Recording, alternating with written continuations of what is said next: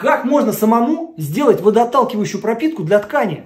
Сейчас покажу. Чтобы сделать эти джинсы непромокаемыми, нужно взять парафиновую свечку, потереть ее мелко на терке, чтобы получилось примерно пару столовых ложек вот таких вот хлопьев. Теперь берем очищенный бензин галоша, наливаем примерно полстакана и хорошенько все перемешиваем, чтобы все восковые хлопья растворились. Берем любую кисточку и наносим пропитку на ткань. И давайте небольшую область закроем пакетом, чтобы потом увидеть разницу. Кстати, такая пропитка делает ткань более яркой и насыщенной, а выстирывается в обычной стиральной машинке при высокой температуре. Теперь нужно дождаться, когда пропитка полностью высохнет, но мы ждать не будем и все подсушим феном. Ну что, давайте проверять. Польем немножко водички. Как видите, там, где пропитка, вода абсолютно не впитывается. А где ее нет, джинсы промокают. Такой пропиткой можно смазывать не только одежду, но и походную палатку, куртку, зонт и даже обувь. А убирается она при обычной стирке.